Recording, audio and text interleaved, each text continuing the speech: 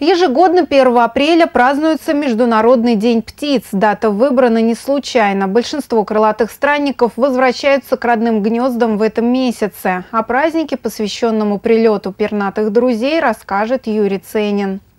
Началось все с неожиданного появления особого гостя – героя мультфильма «Маша и медведь», который провел для детей физкультурно-танцевальный урок. Ноги! Давай, давай,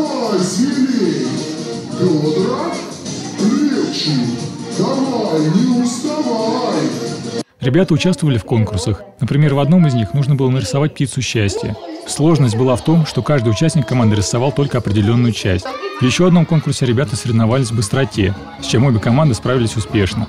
Обычно праздник проходит на улице, но в этом году из-за ветра было принято решение провести его в помещении.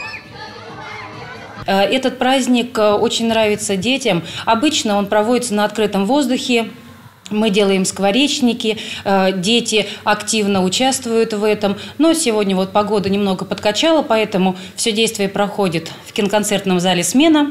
По традиции был проведен конкурс рисунка «Волшебный мир птиц глазами детей». Более ста рисунков были представлены на суд жюри. Авторы лучших были отмечены почетными грамотами. Юрий Ценин, Степан Дикаленко. Новости ТВ рассказывают.